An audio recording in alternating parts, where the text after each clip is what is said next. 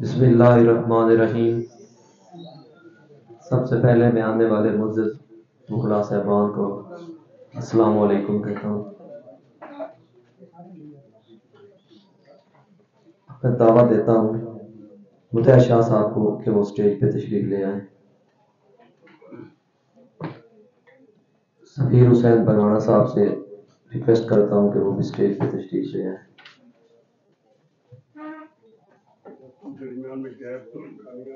شیخ تیر صاحب سے گزارش ہے کہ وہ بھی اسٹیج پہ تشریف لے آئیں۔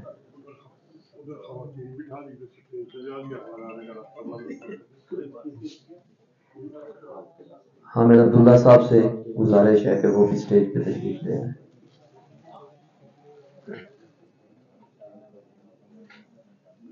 منظور حسین متحانہ صاحب سے ریکویسٹ ہے کہ وہ بھی اسٹیج پہ تشریف لے آئیں۔ آج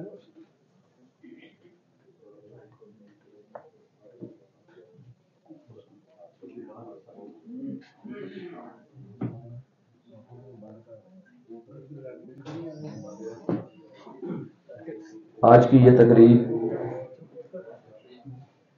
قانون کا بہت بڑا نام جناب چودھری مختار حسین صاحب نے inheritance legal heir and co share پر ایک کتاب لکھی ہے، جس پر یہ شروع ہو رہی ہے۔ اب میں اس تقریب کی باقاعدہ آغاز تلاوت قرآن پاک سے کرتا ہوں۔ اس کے لیے میں دعوت دیتا ہوں جناب شبر خان صاحب کو کہ وہ آئیں اور تلاوت قرآن پاک۔ میں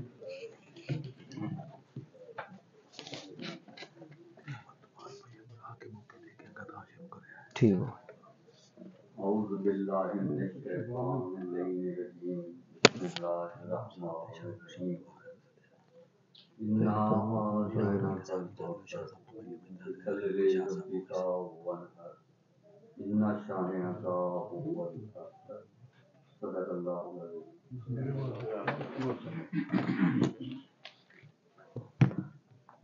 اب میں دعویٰ دیتا ہوں چودھری مختار حسین صاحب کو کہ وہ اسٹیج کی زینت کریں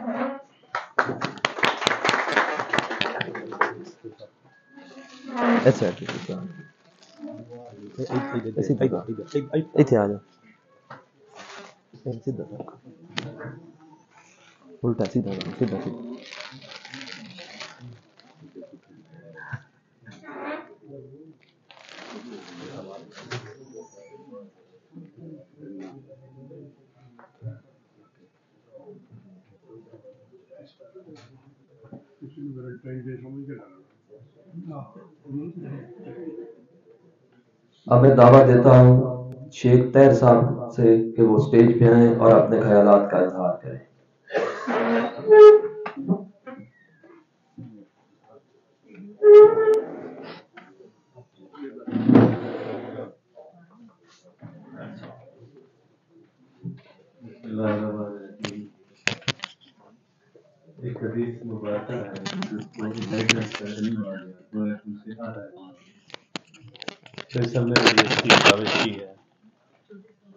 اس کی ضرورت تھی انہیریٹنس کی کوئی اچھی کتاب آئے۔ ہمارے لیے بہترین مسل راہ ثابت ہوگی۔ میں مبارکباد پیش کرتا ہوں چوئی صاحب کو کہ انہوں نے ایک اچھا قدم اٹھایا ہے۔ ہمارے علم میں اضافہ ہوا۔ ان معروضات کے ساتھ ساتھ میں مبارکباد پیش کرتا ہوں۔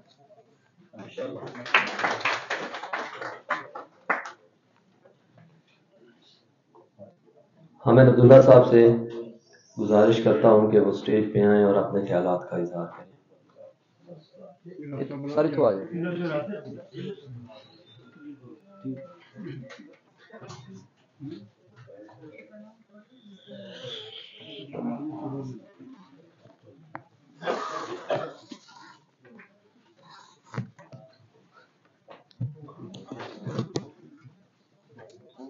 بسم اللہ الرحمن الرحیم۔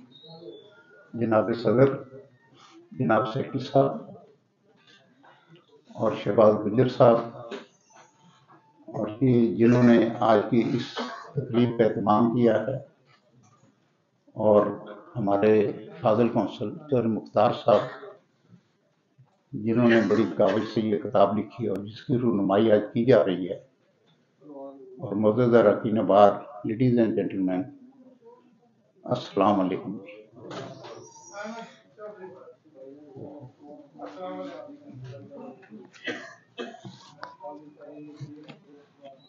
خداون تعالیٰ نے جب انسان کی تخلیق کرنے کا سوچا اور انسان کو پیدا کیا اور بعد میں کچھ مراحل گزر گزرنے کے بعد گزارنے کے بعد اس کو قرآ پر بھیج دیا ایک مرد اور ایک عورت کو قرآ پر بھیج دیا۔ پہلا جوڑا اس قرآ پر وہی آیا جس کو ہم اما حوا اور بابا آدم کہتے ہیں۔ وہ پہلے آئے۔ پھر اس کے بعد کیا ہوا کہ اس دنیا میں سب سے پہلا جرم قتل کا ہوا جو کہ حابیل اور کابیل کا تھا۔ ان کی جب ڈیڈ باڈی ہو گئی ایک آدمی جب قتل ہو گیا، تب اس کو ڈسپوز کرنے والے ڈسپوز کرنے کا مسئلہ جب پیش آیا، تو اللہ تعالیٰ نے ایک کبے کو، ایک کبے کو وہاں پر بھیجا، جس کے پنجے میں جس کے پنجے میں ایک مردہ کبا تھا، وہ ان کے سامنے آیا اور اس نے مٹی کھود کر اس کو دفن کیا، جس سے ان کو بھی سمجھ آ گئی، انسان کو بھی، کہ جس ڈیڈ باڈی کو ڈسپوز کرنے کا یہی طریقہ اللہ تعالیٰ نے ہمیں اس کی مثال دے کر بھیجا ہے، چنانچہ وہ اس ڈیڈ باڈی کو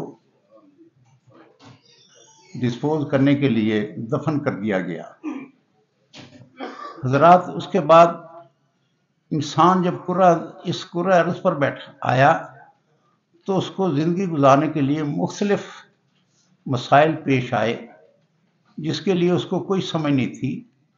چنانچہ اللہ تعالیٰ نے اس کی رہنمائی کے لیے اس دنیا میں تقریباً ایک لاکھ چوبیس ہزار پیغمبر بھیجے۔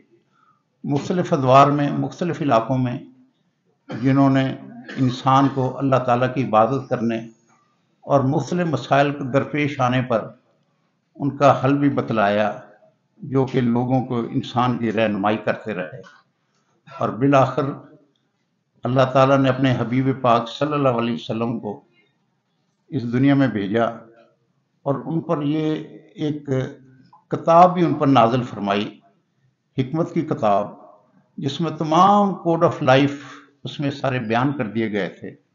اور ان کا حل بھی بیان کر دیا گیا تھا کہ اگر آپ کو یہ ایسی مشکلات پیش آئیں تو یہ قرآن پاک کی یہ کتاب آپ کو اس میں معمن ہوگی، اس میں مد و معمن ہوگی۔ چنانچہ اس کتاب کے بعد اللہ تعالیٰ نے دین کو ہدایات کا سارا کام مکمل کر دیا اور اسی کتاب پر انسان کو حکم دیا کہ جب بھی تمہیں کوئی مسئلہ پیش آئے تو اسی پر آپ نے اس کو دے کر اس نے آپ نے گائیڈنس حاصل کرنی ہے۔ چنانچہ جب یہ وراثت کا مسئلہ آیا تو اس پر بھی یہ تھا مشکل کہ جب ایک آدمی فوت ہو جائے، اس کا کون اس کا وارث کتنا کتنا حصہ لے گا؟ تو اللہ تعالیٰ نے قرآن پاک میں سورت نسا کو سورت نسا کو یہ نازل فرمایا، جس میں تمام آدمیوں کے رشتہ داروں، ان کے حصوں، ان کی وراثت کا تمام سارا بیان کیا۔ اس بیان کرنے کے بعد اب یہ مسئلہ درپیش ہوا کہ ہر آدمی تو قرآن کی سمجھ نہیں رکھتا۔ وہ کیسے جب کسی کو پیش آئے گی یہ وراثت کا مسئلہ، تو وہ کیسے وہ جیسے قرآن پاک سے یہ اس کا حل حاصل کرے گا۔ چنانچہ جید علماء نے اس قرآن پاک کی روشنی میں قانون وراثت کی، ساری وضاحت کی اور سارا کچھ بنایا۔ جس پر عمل درآمد کرتے ہوئے دنیا کی سپیریٹ کورٹس اور ہمارے بھی ملک کے ججز نے اپنے وہاں پر وہ فیصلے سنائے۔ اب وہ مختلف فیصلے تھے، وہ سارے لمبے چوڑے فیصلے آئے۔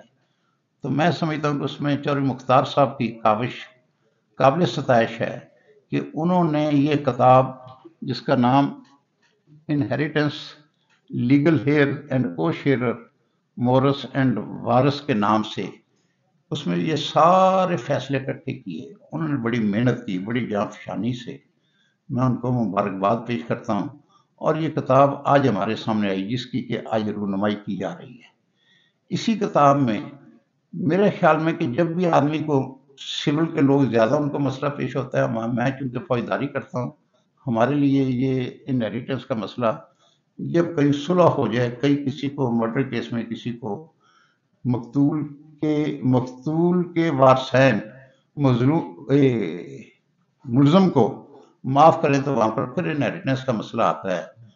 تو اس میں ابھی میرے شاہ صاحب سے بات ہو رہی تھی، تو میں نے کہا کہ وہ تو عدالت صرف پٹواری سے رپورٹ حاصل کرتی ہے۔ تو پٹواری اپنے حصے نکال کے سارے بیچ، اس کو اتنے پیسے ملیں گے، اس کو اتنے ملیں گے، اس کا یہ ہوگا، اس کو لہذا فوجداری میں یہ کام تھوڑا سا آسان اور کم ہوتا ہے۔ لیکن سول کے لیے یہ کام بہت زیادہ ہے۔ اور میں سمجھتا ہوں کہ ہمارے نوجوان وکلا جن کے اکثر مقدمات میں وراثت کا کام آتا ہے سارا، وہاں پر یہ کہ اگر دادا دادی کی کوئی جداد ہو تو نواسے اور نواسیوں کو کتنا حصہ ملے گا؟ نانا نانی کی جداد ہو تو اس میں دادا دادی کی جداد تو پوتوں پوتیوں کو کتنا حصہ ملے گا؟ سوری یار۔ پوتے پوتوں کو کتنا حصہ ملے گا؟ اور نانا نانی اگر فوت ہوتے ہیں تو ان کی جداد میں سے ان کے نواسے نواسیوں کو کتنا حصہ ملے گا؟ اور اسی طرح خاندان کے جب دیگر افراد کے فوت ہو جائیں تو ان کے جو دیگر رشتے دار ہیں ان کو کتنا حصہ ملے گا؟ تو یہ ساری باتیں یہ کرنے کی ہیں جو کہ ہمارے ینگ وکلا کے لیے ایک مشکل تھا، ان کے لیے پڑھنا یہ کرنا سارا۔ میں سمجھتا ہوں کہ چوری مختار صاحب نے جو ہماری بار کے ایک سینئر ایڈوکیٹ ہیں اور ان کو پریکٹس کرتے بھی میرے خیال میں کوئی نصف صدی تو ہو چکی ہے۔ وہ انہوں نے بڑی محنت اور بڑی کاوش سے یہ کتاب ینگ لائرس کے لیے یہ ساری بنائی اور اس میں انہوں نے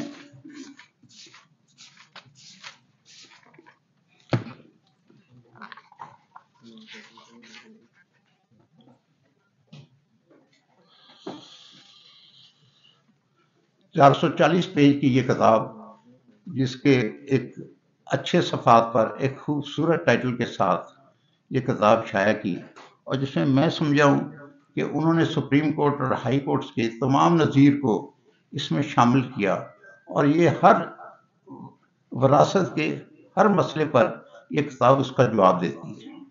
تو میں ان کو خراج تحسین پیش کرتا ہوں چار مختار صاحب کو، کہ انہوں نے یہ کاوش ساری کی اور اپنے علم کو آگے ڈلیور کیا۔ اور میں اسی بات کے ساتھ اپنا بات ختم کرنا چاہتا ہوں کہ ایک سے ان حضرات کا شکریہ کہ انہوں نے کتاب کی، رونمائی کی اور ہمارے ایک بار کے ممبر ایک کتاب کے آتھر کے نام سے بھی ان کا نام ہمیشہ ہمیشہ کے لیے یاد رہے گا، چودھری مختار صاحب کا۔ تو وہ مجھے علامہ اقبال کے ایک نظم کا ایک شعر ہے کہ ہیں لوگ وہی جہاں میں اچھے جو آتے ہیں کام دوسروں کے۔ جو صاحب آپ نے دوسروں کے لیے کام کیا، آپ کے لیے یہ بڑی، میں آپ کو خراج تحسین پیش کرتا ہوں۔ اللہ تعالیٰ آپ کو زندگی دے، خوش دے۔ اور میں یہ بھی امید کرتا ہوں کہ ہمارے ینگ گرل اس کتاب سے فائدہ اٹھائیں گے۔ اس کی قیمت آپ نے خاصی رکھ دی۔ لیکن میں ایک بات عرض کروں، اگر ایک کتاب پہ آپ پیسے لگاتے ہیں اور بعد میں بعد میں بعد میں کسی کسی بھی سٹیج پہ اس کتاب سے ایک ایک فائدہ اٹھا کر کیس آپ کے حق میں ہو جاتا ہے۔ تو میں سمجھتا ہوں کہ وہ پیسے آپ کو سارے وصول ہو گئے۔ اس لیے کتابوں پہ میرے ینگ بھائی جو ہیں، یہ خرچہ کیا کریں اور کتابیں لے کے پڑھا کریں، اس سے فائدہ ہوگا۔ مہربانی جناب، شکریہ۔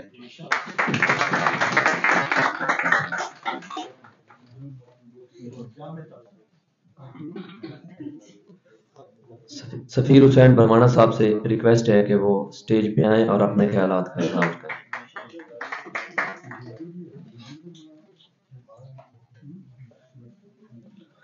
اعوذ باللہ من الشیطان الرحیم الرجیم۔ بسم اللہ الرحمن الرحیم۔ ہماری جنگ بار کے سینئر ایڈوکیٹ ہیں، ہمارے سے بہت سینئر ہیں، چودھری مختار حسین صاحب۔ وکالت میں بھی ان کا ایک نام ہے۔ اب آتھر میں بھی ان کا ایک نام آ گیا۔ یہ اضافہ ہے۔ جیسے وضو کے بغیر نماز نہیں ہو سکتی، ایسے کتاب کے بغیر وکالت نہیں ہو سکتی۔ کوئی شخص کہے کہ میں نے کتاب نہیں پڑھنی اور بہت بڑا وکیل بن جاؤں گا، مشکل ہے۔ کتاب بہت ضروری ہے۔ اور علم جو ہے، یہ اللہ کی دی، طرف سے دیا ہوا ایک عطا ہے، ایک تحفہ ہے۔ وہ کس کس کو نواز دیتا ہے؟ چو صاحب نے یہ کتاب لکھ کر ہم سب وکلا کے لیے آسانیاں پیدا کر دی۔ جب ہمارے امتحان میں یہ آتا تھا نا کہ وراثت کا سوال کرنا ہے، تو ہم سارے کینڈیڈیٹ اسٹوڈنٹ پریشان ہوتے تھے، یار اس کا کیسے حل نکالیں؟ اس سے کیسے نکالیں گے؟ یہ میتھ کا ایک سوال ہے، کس طرح ہوگا؟ اس کو جو صاحب نے آسان کر دیا۔ اور choose another as you choose a friend کتابیں تو بہت زیادہ لکھی جاتی ہیں۔ جیسے آپ ایک دوست کا انتخاب کرتے ہیں کہ ہمارے دوست میں یہ یہ خوبیاں ہونی چاہیے۔ تو کتاب میں بھی خوبیاں، میں نے تھوڑا سا اس کا ٹائٹل دیکھا ہے، کوئی پریفیس دیکھا ہے پریمبل دیکھا ہے۔ تو اس کو پڑھنے کے بعد سیول ہم تو بہت کم کرتے ہیں، لیکن پھر بھی جو صاحب نے کمال اعلیٰ ظرفی اور محنت کا اظہار اس کتاب میں کیا اللہ تعالیٰ ان کے علم میں اضافہ فرمائے۔ یہ ہماری بات کا بہت بڑا ساتھ ہے۔ اور یہ کتاب ہم سب کو پڑھنے کی توفیق عطا فرمایا اللہ نے ان کو اور کامیابی تھینک یو ویری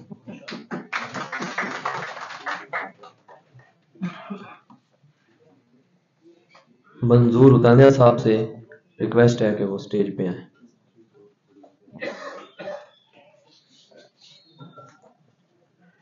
بسم اللہ الرحمن الرحیم۔ موزز اور واجب الاحترام present bar, our elected representative نہایت ہی قابل احترام ہمارے seniors encyclopedia of civil law Syed Mutahhar Hassan Tirmizi صاحب شیخ حامد عبداللہ صاحب ماسٹر ان کرمنل لا اور تمام معزز اراکین بار السلام علیکم۔ اس سے پہلے بھی ہماری گیٹ ٹوگیدر ہوتی ہے۔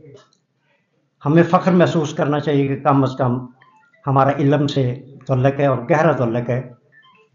یہ کتاب جو لکھی ہے چوئی مختار صاحب نے، وہ وکلا صاحبان، جو سول لا اور اسپیشلی ریونیو لا۔ کے کیسز کرتے ہیں، یہ ایک ان کے لیے بڑی رہنمائی اور گائیڈنس ہے۔ اس سے پہلے میں گزارش کرتا رہا ہوں آپ بھائیوں کو کہ اگر دوستی رکھنی ہے دنیا میں، تو اللہ کے فرمان کے مطابق علم سے رکھو اور کتاب سے رکھو۔ اور اگر کتاب سے دوستی ہے، تو what to say about the writer of the book بہت ہی قابل احترام۔ آپ نے علم کے مطابق اپنے تجربہ کے مطابق شایان شان کتاب لکھ کر انہوں نے بار کے ممبران پر بہت بڑا احسان کیا ہے۔ ہمیں ان کو فالو کرنا چاہیے۔ کریٹیوٹی کسی ایک آدمی کا ترہ امتیاز ہے۔ نکتہ چینی کریٹیسزم ہر رائٹر پہ بندہ کرتا ہے، ہر لکھاری پہ کرتا ہے، ہر تحریر پہ کر سکتا ہے۔ That is very easy but fun is that کہ ایک رائٹر بننا، ایک رہنمار بننا، ایک گائیڈ بن کر کوئی چیز ایسی لائیں جس سے علم میں اضافہ لوگوں کے اور اس علم سے استفادہ کرتے ہوئے لوگ جو ہیں وہ یاد کریں۔ ہمارے دلوں میں ان کا نام رہے گا۔ یہ بہت بڑا اعزاز ہے ہماری بار کے لیے اور ہمارے تمام نہ صرف جونیئرس بلکہ سینئرس کے لیے اس کو پڑھنا اشد ضروری ہے۔ اس میں تمام انہیریٹنس کی چیزیں جتنی بھی ہیں، یہ ہماری بنیادی ریکوائرمنٹ ہے اس کو اسٹڈی کرنا۔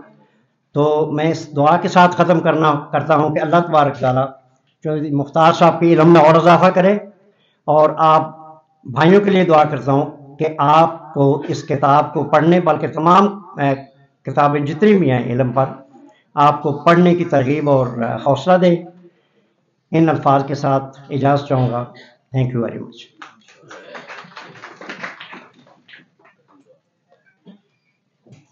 میں لیاقت سیال صاحب سے ریکویسٹ کرتا ہوں کہ وہ اسٹیج کی زینت بنے۔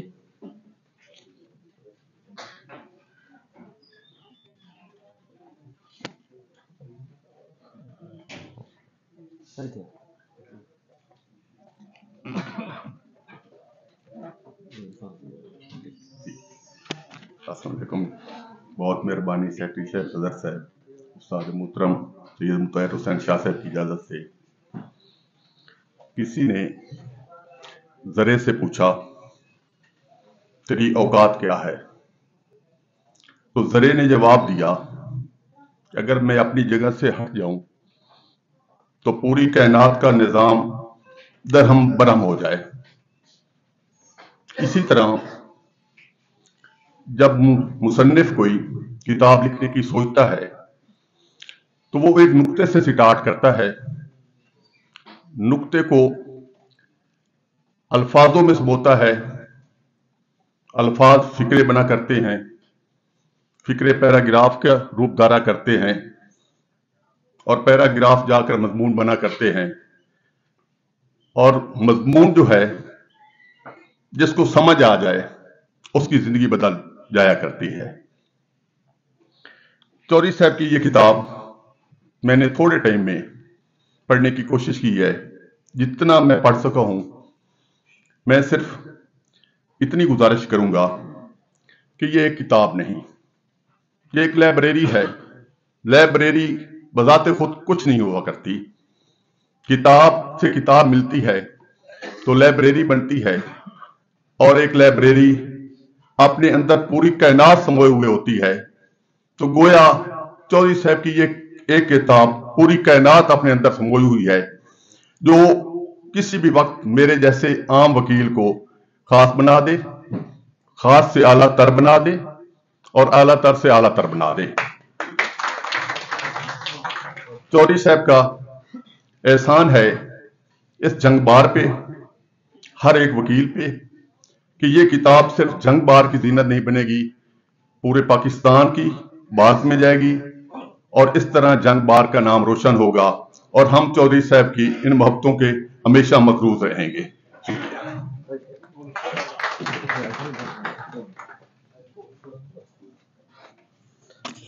اب میں دعوت دیتا ہوں چودھری شباز گجر صاحب سے کہ وہ سٹیج پہ آئیں اور اپنے خیالات کا اظہار کریں۔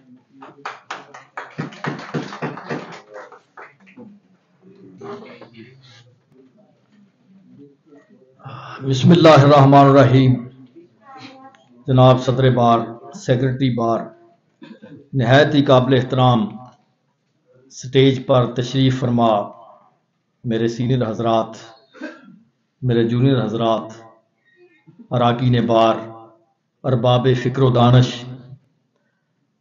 آج کی یہ مختصر جامع تقریب، جیسا کہ آپ حضرات نے سنا کہ چودھری مختار حسین صاحب، جو کہ اب صاحب کتاب ہیں، ان کی خدمات کو خراج تحسین پیش کرنے کے لیے منعقد ہے۔ حضرات محترم، مجھے ایک واقعہ یاد آ رہا ہے، امام مالک نے یہ واقعہ لکھا ہے۔ عام طور پر ہم دیکھتے ہیں کہ اگر کتا جو ہے وہ کسی برتن میں منہ ڈال جائے، تو ہماری مائیں بہنیں کہتی ہیں کہ اس کو پاک کیا جائے۔ اور ایک اس کا اخلاقی اور شرعی کنسپٹ بھی ہے۔ تو لیکن اگر شکاری کتا جو ہوتا ہے، وہ جب شکار کو منہ میں پکڑ کے لاتا ہے، تو اس کو بغیر پاک کیے اسی طریقے سے زیبہ کرنا جائز ہے۔ اس کی وجہ کیا ہے؟ جسٹیفیکیشن کیا ہے؟ تو امام مالک فرماتے ہیں، چونکہ شکاری کتا سدھایا ہوتا ہے، اس کی تربیت ہوتی ہے اس کے علم میں اضافہ ہوتا ہے۔ وہ کتا عالم ہوتا ہے۔ اس لیے جب وہ شکاری کتا جو ہے، وہ جب اس شکار کو پکڑتا ہے، تو اس کو پھر ویسے ہی ذبح کر لیا جاتا ہے، پاک کرنے کی ضرورت نہیں ہوتی۔ تو اس حوالے سے پھر کتاب، علم، یہ ساری جو چیز ہے، میں سمجھتا ہوں کہ اسی پس منظر میں چوئی صاحب نے انتہائی قیمتی کاوش کی ہے۔ اور اس کا جو تقدس اپنی جگہ پر، اس کو جو ہے ہم بغیر جو ہے وضو کے پڑھ سکتے ہیں، کیونکہ تقدس ہے اس کا۔ تو اس حوالے سے میں یہ سمجھتا ہوں کہ آج جو ہے یہ علم، تعلیم، تربیت، اس سے ہم لوگ جو ہے ذرا تھوڑا سا کنارہ کسی اختیار کرتے ہیں۔ تو واقع جیسے سفیر صاحب نے کہا ہے کہ اس میں غوطہ زن ہونا چاہیے۔ اب اس میں ہمارے یہاں جو ہے وہ طلاق اور وراثت کے جو مسائل ہیں، جو اصول و ضوابط ہیں، وہ ذرا وقت مانگتے ہیں۔ تھوڑا سا ذہن پہ زور دینا بھی اس کا تقاضا ہے۔ تو یہ اس میں سے وراثت کے جو پیچیدہ آپ کہہ سکتے ہیں مسائل ہیں، ان کو جو ہے، یہ چار سو چالیس صفحات کی کتاب میں جو اتھارٹیز جمع کی گئی ہے تو اس حوالے سے میں سمجھتا ہوں کہ ہمارے نوجوان وکلا کے لیے ایک انتہائی سہل جو ہے وہ ایک دستاویز بنا دی گئی ہے اللہ پاک جزائے خیر دے۔ اور اسی شعر کے ساتھ، اور چوری صاحب نے یہ کاوش یہ کی ہے کہ پیاسی نہ رہے ذوق نظر کوئی۔ پیاسی نہ رہے ذوق نظر کوئی، اسی لیے فن کو ادب میں سمو دیا ہے۔ شکریہ جی۔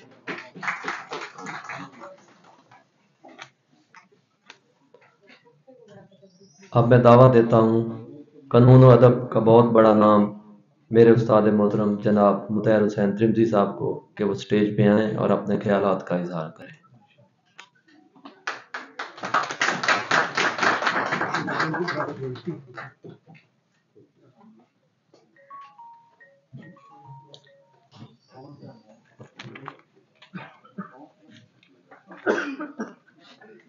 اعوذ باللہ من الشیطان الرجیم۔ بسم اللہ الرحمن الرحیم۔ Worthy President, Honorable Chief Guest Chaudhry Mukhtar Hussain, and learned members of the bar, I crave this hospitality to say a few words on the eve of book launching ceremony of Chaudhry Mukhtar Hussain's book. It is a very difficult task to compose a book, to write a book, to compile a book, to search out a book. First of all, it is very difficult to choose a topic whereupon the writer intends to search out. Then the stage comes to prepare synopsis. Then the stage comes for chapterization. Then the stage comes to collect all material and get it reviewed literally. Thereafter, to get it composed, then corrected, then printed, then published. Then it comes in the hands of the people. When it comes in the hands of the people, it becomes a public property. Now it is not property of Chaudhry Mukhtar Hussain, but it is property of all of us. So we have a right to read it, we have a right to think over it, we have a right to comment over it, we have a right to criticize it, and we have a right to make our opinion about the book. So, for the purpose of justly determining the status of the book, place of the book, rank of the book, we are to study the books which are available in the universe. So there are several kinds of the books. Let us see what kind of book this is. So for the purpose of determining its kind, we are to see that first of all, there is a book which is known creativity. The first book which gets introduction in the society and it is inducted in the libraries is a book known as creativity. So the creation is of three kinds. We are going to determine the rank and the status of this book. For this purpose, we are to study all these things. So first of all, we are studying the creativity of a book. The writer's creativity is determining by the reading of the book. So whether it is a creation, the creations are of three kinds. Number one, original creation. Number two, reflexive creation. And number three is mimical creation. So all these creations are based upon four things. Creation on the basis of absolute reality, creation on the basis of perceptive reality, creation on the basis of real reality, and creation on the basis of phenomenal reality. So when these all are combined, 12 kinds of creations come into existence. So we are to see whether this book is a creation or not. So we are to see it. Then the second class of the books is, that is very important, and that is explication. There are some books which are known as explication. What does it mean? A book written on the basis of another book. You are to wait and see and be patient, and I will take sufficient time. Don't worry. I usually say that please don't invite me on the stage, but if you invite me on the stage, then don't think that I will leave the stage easily. Hmm? Then be patient. Hmm? Now, the second class is explication. What does it mean? Explication is a book which is written on the basis of another book. We have a book in our hand, we want to explicate it. So, the explication contains comments, criticism, explanation, conclusion, theoretical analysis, and review of the literature, and all kinds which are available in the market for the comparison of the book. That book is compared with all the other books in the explication. So the second kind of books is explication. Then there is a third kind, that is research work, that is based upon thesis. We collect a topic, we collect the material of the topic, we review the literature, then we collect all what is hidden. The hidden topics and the knowledge are discovered. And when they are discovered, then they are compared with other theories. And then the writer, who is known as a research scholar, the writer of this book is known as a research scholar. He researches all things. And he has a right to criticize the topic and also to conclude it and give his own opinion as well. So that is a research work. It is the work of the researcher. It is the work of the critic. And the fourth one, which is one of the most important books, and that is compilation. So far as this world is concerned, we are to see that uh, the earth has shrunk. The earth has shrunk. What does it mean? It means that the nations have come nearer. A nation which was thousands of miles away from us is not away from us. That has come nearer to us.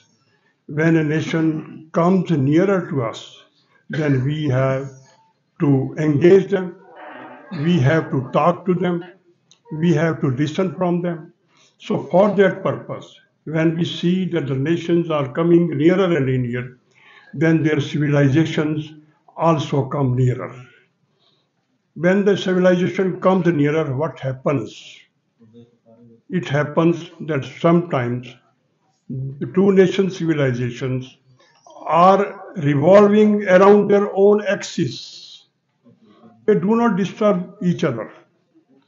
One civilization is revolving around its own axis, the other civilization is surrounding its own axis. So they do not disturb each other and continuously work together.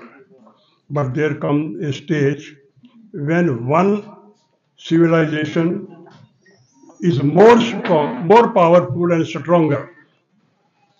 If a civilization is stronger and more powerful, then it overpowers the other civilization. Resultantly, the weaker civilization vanishes away and the stronger civilization prevails upon it. And when the stronger civilization prevails upon it, then there occurs a third category that both civilizations are equally strong. If both civilizations are equally strong, then what happens? They smash, confront, and strike. Resultantly, both are destroyed, and a new civilization emerges. When there is a clash of civilization, then there are chances of emergence of a new civilization. When new civilization comes into existence, new topics come into existence, new requirements come into existence, new status comes into existence, and all that which was prevailing in the previous civilization wipes out and a new, new civilization comes. Now we are living in a global village. So when there is a global village, the scattered topics are also gathered in one village. So we are need, need to study them. So they are so vast that we cannot collect all of them. So a one reader cannot be so competent as to cram all those topics which are available in the universe. So he is to choose one of them. So, but once he chooses one, then he has to face several angles of that. Once upon a time, I thought to write a book on the modern rationalism. Modern rationalism, not the rationalism, but modern rationalism. Modern rationalism is a theory of 20th century, and rationalism is a theory of the Aristotle time. I'm talking of modern rationalism. Modern rationalism, then I found several books on that topic. I found several theories on that topic. So I had to search out the libraries and I had to look up all the theories available in the market. So, meaning thereby that once you are going to write a book on a particular topic, you are to study all that what is available on that topic. So this time has come that we should write, we should be creators, we should be researchers, but at the same time there is a need of a compiler because compiler makes our job easier. If I want to write a book, I should collect the books written by the compilers along with the books of the creators. So the compiler helps us in gathering the knowledge from one book. All topic which is available in various books is available in one book. So far as the law of inheritance is concerned, there are several books on it. Coulson wrote the book, Amir Ali wrote the book, Mullah wrote the book, Kaduri wrote the book, Hidayah wrote the book, Bailey wrote the, wrote the book, and there are several other authors who wrote the book on inheritance. We don't have the capacity to read all of them. And there are several courts, not only in Pakistan but out of Pakistan as well, who are giving their authoritative pronouncements on the inheritance. Then how to collect them? So it was an uphill task to collect all of them. So it is a great deed done by my brother Chaudhry Mukhtar said that instead of that instead of looking up the law in various libraries, in various authoritative pronouncements, in various books, we got one book. In that book, we can get each and everything which we require. So this compilation, although it is fourth class of the writing of the books, but this time when the world has shrunk and when we are converted into a global world, it is more important than other books. So, in this era of progressive outlook, strive for good is in vogue. We find that the subject is growing vast and vast. This trend of growth opened up new vistas. So, in order to collect material on one topic, one has to look up various libraries.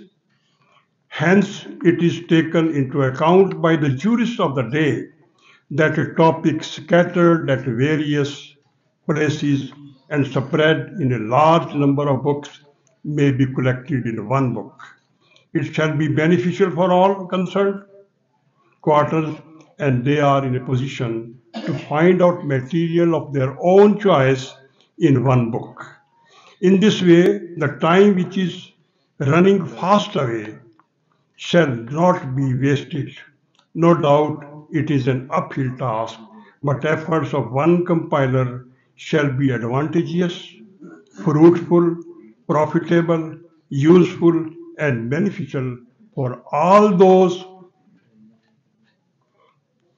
in the society in kno- or uh, regarding the knowledge who are in search of the knowledge to quench their thirst. It may be maintained that a comp- compiler is not less than a researcher, and a researcher is not less than a critic, and critic is, in other words, a creator. So, if we peep into it, we find that it is not only a compilation, but it is a research work as well. So Chaudhry Mukhtar Hussain felt the need of compilation of authoritative work on law of inheritance and it took pains to complete it. It is important, its importance attracts and invites us to read it. So I would request all of the lawyers, especially the young lawyers, to study the law of inheritance and seek the guidance from this book because all the jurists are of the opinion that law of inheritance is 50% of the law. If you learn inheritance, it means you have learned 50% law. So for the purpose of learning 50% law, this book is very much important and it needs your kind attention and you must be attracted on opening this book. The moment you open its first page, you find that it is a book which is in need of the time. All authoritative pronouncements of the superior courts up to date are available in this book. It is not only a compilation, but it is a work which is required by all of us who are going to practice, especially on the civil side. So I again congratulate him on this marvelous achievement, on this occasion, and I am also thankful to all of my friends who bothered to participate in this function. So because it was a very tough and rough topic, and I was not expecting that you would be hearing it with patience. So thank you very much for your patient hearing.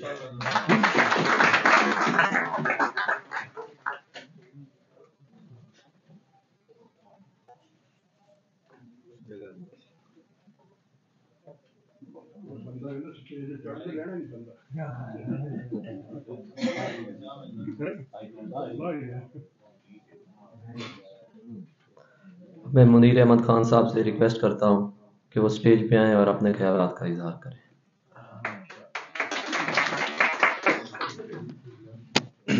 بسم اللہ الرحمن الرحیم۔ نحمدہ و نصلی علی رسول الکریم۔ Esteemed member of the bar, seniors اور آج کے ہمارے اسکالر جناب چودھری مختار صاحب، میں سب کو سلام پیش کرنے کے ساتھ ساتھ آج جو انہوں نے کتاب انہیریٹنس پہ لکھی ہے، اس کی سیلیبریشن کے لیے، بار نے ان کے اس کام کو اکنالج کرنے کے لیے، اس کو سراہنے کے لیے آج یہ ساری گیٹ ٹوگیدر کی ہے اور میں یہ سمجھتا ہوں کہ جنگ بار ہر انٹلیکچوئل ورک کو، اپنے سینئر کے ورک کو اور جس جس سے بھی ہمارے بھکلا کی کیپیسٹی بلڈ ہوگی، اس کو ہم ہر صورت میں اس حد تک ایلومینیٹ کریں گے کہ جس سے ہمارے اندر ایک جذبہ پیدا ہو۔ میں سب سینئرز کو ریکویسٹ کروں گا کہ وہ آئیں، اپنے علم کی شمع جلائیں اور ہماری بار کو اس سے استفادہ حاصل ہو۔ چودھری مختار صاحب کا جو ورک انہیریٹس پہ ہے، یہ ایک مارویلیس ورک ہے سکولرلی ورک ہے۔ اور اس کو پڑھنے کے بعد یہ محسوس ہوتا ہے کہ یہ سیول کے لیے صرف نہیں ہے، یہ کرمنل والوں کے لیے بھی بک بہت اہم ہے۔ اس میں کساس اندیت کو بھی انہوں نے ڈسکس کیا ہے کہ کساس اندیت میں کمپاؤنڈنگ کس طرح ہے لیگل ایئر کا کس طرح کام ہے۔ اس میں بہت سارے ٹاپک انہوں نے کور کیے ہے جو میں سمجھتا ہوں کہ ہمارے لیے مشعل راہ بھی ہیں اور ہمارے فیوچر کے لیے ہمیں ایک بہت بڑی گائیڈنس بھی پرووائڈ کی ہے۔ وہ جیسے کہتے ہیں، شکوہ ظلمت سب سے تو کہیں بہتر ہے۔ اپنے حصے کی کوئی شمع ہی جلائے جاتے۔ چودھری صاحب نے ایک ایسی شمع جلائی ہے۔ ایک ایسا راہ ہمیں ہموار کر کے دیا ہے کہ جس کے لیے آپ جتنے پریسیڈنٹ اس پہ ہیں، وہ آپ کو اس کتاب میں اویلیبل ہوں گے۔ میں یہ ریکمینڈ کروں گا کہ ہر طالب علم اس کو پڑھے اور ہم اپنے طور پہ کوشش بھی کریں گے کہ بار کے لیول پہ اس کتاب کو ہم پی ڈی ایف میں کنورٹ کر کے وکلا کو بہت ہی کم قیمت پہ پروائیڈ کریں چوہی صاحب نے بتایا ہے کہ جو اس کی قیمت ہے، اس سے ہاف قیمت پہ یہ آپ سب کو ملے گی۔ اس کی ریزن یہ ہے کہ چودھری صاحب کا یہ ورک وولنٹیئر ہے، یہ بک وکلا کے لیے ہے۔ اس کی جو کمپائلنگ کے اخراجات ہیں، جو اس کے پیپر کے اخراجات ہیں، اس سے زیادہ یہ کچھ نہیں وصول کر رہے۔ اور یہ بار ہمارے لائبریری کے پاس، ہمارے لائبریرین کے پاس ہوگی، جو ہم ہم میں سے موزن رکن اس کو لینا چاہے۔ وہ ہر ایک کے لیے ہر وقت اویلیبل ہوگی۔ ہمارے پاس ہماری رچ ہیریٹیج ہے۔ میں یہ سمجھتا ہوں کہ صرف چودھری مختار صاحب نہیں، ہمارے سارے وکلا جتنے سینئرز ہیں، جتنے بھی ہمارے یہاں پہ پریکٹس میں ہیں، ان سب کے ساتھ صاحب کے پاس ایک بہت بڑا علم کا خزانہ ہے۔ ہم اس سے استفادہ چاہیں گے۔ اور چودھری صاحب کو آخر پہ جانگ بار کی طرف سے، ہم پورے وکلا کی طرف سے یہ اکنالج کرتے ہیں کہ ان کا یہ اسکالرلی ورک ہمارے لیے بہت بڑا اثاثہ ہے۔ اور یہ ایک بہت بڑا اثاثہ چھوڑ کے جا رہے ہیں۔ ہم انہیں خراج تحسین پیش کرتے ہیں۔ انہی الفاظ کے ساتھ اجازت جاتا ہوں۔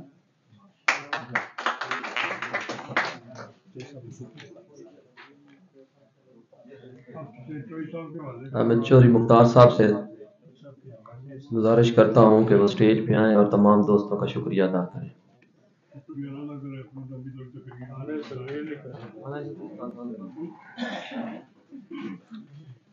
جناب صدر صاحب پیر مطاہر حسین ترمیری صاحب، یہ میرے سارے معذر دوستوں آپ سب لوگ جانتے ہو کہ میں کوئی لمبی چوڑی تقریریں کرنے کا، سٹیج پہ آنے کا عادی نہیں۔ چند باتیں جناب کے سامنے عرض کروں گا۔ میں انیس سو چھہتر میں اس کچہری میں آیا۔ اس وقت ضلع کچہری جنگ میں اتنے بڑے نام تھے کہ پورے پنجاب میں یہ بات چلتی تھی کہ جنگ بار جو ہے وہ نمبر ون پر ہے، پورے پنجاب میں۔ اور اس کی وجہ وہ بزرگ تھے، میر اخلاق الحسن چوری دلی صاحب، مار نور محمد سربانہ صاحب، شیخ سلطان صاحب اس کے علاوہ فوجداری میں بڑے نام نصیر چیمہ صاحب تھے اور اس طرح کے بہت سارے بڑے نام۔ یہ ہم لوگ سوچ میں مختار حسین سوچا کرتا تھا کہ یار جب ہم سینئر ہوں گے، یہ بزرگ نہیں ہوں گے تو کیا کریں گے؟ ہم کیا کریں گے؟ لیکن اللہ کا شکر ہے کہ اس بار نے ہمیشہ اپنا نام برقرار رکھا۔ اور آج بھی پنجاب لیول پر ہماری بار انشاءاللہ نمبر ون پر ہی ہے۔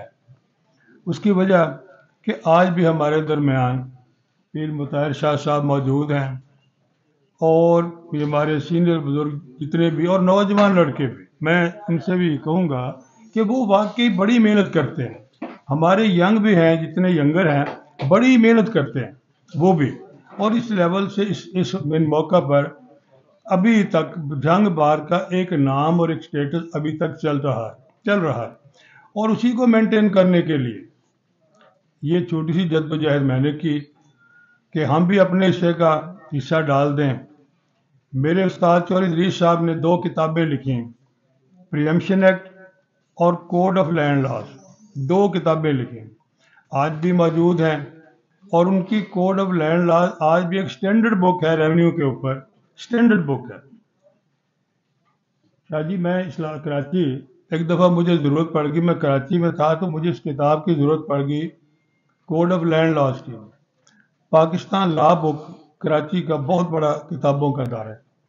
میں ان کے پاس گیا۔ تو وہ کہتے ہیں جی ہمارے پاس ایک ہی نسخہ ہے، بہت مشکل سے ہمیں ملا ہے، ایک ہی کتاب ہے، ہم دے نہیں سکتے آپ۔ تو جب میں انہوں نے بتایا کہ بھائی، میں اس رائٹر کا چیمبر کا حصہ ہوں، ان کا جونیئر ہوں اور یہ۔ تو انہوں نے مجھے کتاب بلا معاوضہ دے دی اور یہ کہا کہ بھائی جنگ جا کر ہمیں کچھ کتابیں بھیج دینا قیمتاً دے دینا۔ لیکن یہ آپ کو ہم مفت گفٹ کرتے ہیں۔ انہوں نے وہ کتاب وہاں مجھے دے دی جو میں نے پڑھنے کے بعد، کچھ دن کے بعد ان کو واپس کر دی کیونکہ اتنی ضرورت ہم نے پوری کر لی۔ تو اس طرح ہم نے اپنے حصے اور میں نہیں سمجھتا تھا کہ یہ کوئی بہت بڑا میں نے کوئی علمی خزانہ اکٹھا کیا ہے، لیکن مجھے اندازہ نہیں تھا کہ بار منیش صاحب اور جنگ بار مجھے اس حد تک اپریشیٹ کرے گے بات صاحب کا شکریہ ادا کرتا ہوں کہ انہوں نے مجھے اتنا اپریشیٹ کیا کہ مجھے حوصلہ ہوا۔ اب میں انشاءاللہ اور بھی اپنی طرف سے جو جدوجہد، جو کوشش کر سکا، انشاءاللہ وہ کروں گا۔ اور میرے لیے باعث فخر ہے۔ میرے دوستوں نے جو کمنٹ کیے میرے متعلق، میرے لیے سب باعث فخر ہے۔ اور خاص طور پر میں سید مطالع حسین تیمیزی صاحب کے جو کمنٹس ہیں، میں یہ ساری زندگی مجھے یاد رہیں گے، میرا ساتھ ورثہ ہے تو ان الفاظ کے ساتھ آپ سب دوست آئے، آپ نے مجھے ان دوستوں کو سنا، آپ نے میری حوصلہ افزائی کی۔ میں آپ سب دوستوں کا شکر ادا، شکریہ ادا کرتا ہوں۔ بڑی مہربانی۔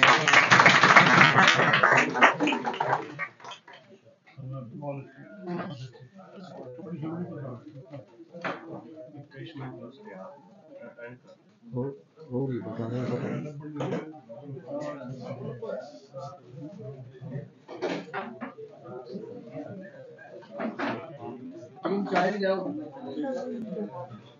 میڈم آپ کو